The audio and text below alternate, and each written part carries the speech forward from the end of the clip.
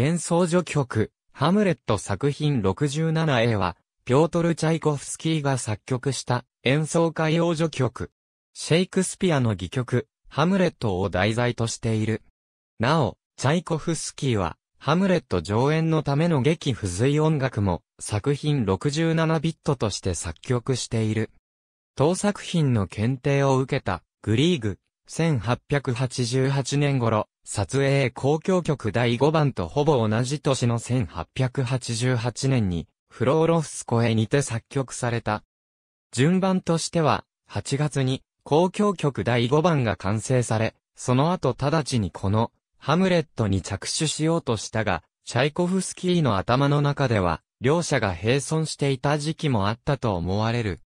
ハムレットのスケッチは6月22日に一応完成したが、この後チャイコフスキーは交響曲第5番のオーケストレーションに専念し、交響曲の完成後に再び、ハムレットの上書に取り掛かったと言われている。シェイクスピアを題材とする、いずれも幻想序曲と銘打たれた、チャイコフスキーの作品は、初期のロメオとジュリエットが有名で、他にテンペストがある。この、ハムレットは、1888年11月24日に、ペテルブルクで、作曲者自身の指揮によって初演された。また、当日は、交響曲第5番も再演されている。なお、この曲はグリーグに検定された。チャイコフスキーは1888年1月に、ライプツヒで、グリーグに会い、後に二人は、深い共感で結ばれた。チャイコフスキーは1891年に、ハムレットの上演のための付随音楽を作曲した。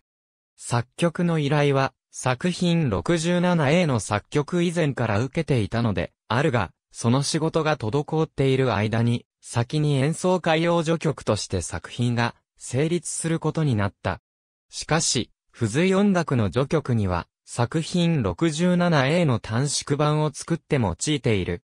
なお、この付随音楽には他に、交響曲、第2番、第2楽章の更新曲、交響曲第3番、第2楽章、弦楽のためのエレジーなどの旧作が転用されている。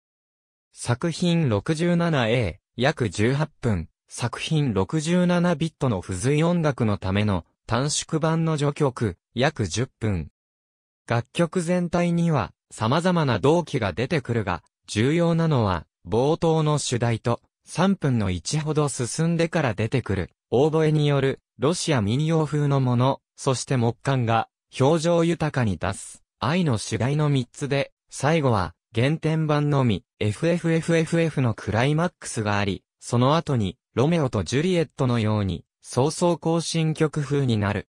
ロメオとジュリエットほどのものではないが、この、ハムレットは、チャイコフスキー特有のオーケストレーションの巧みさと、メロディの美しさで、聴き手に感銘を与える。チャイコフスキーの幻想序曲。ありがとうございます。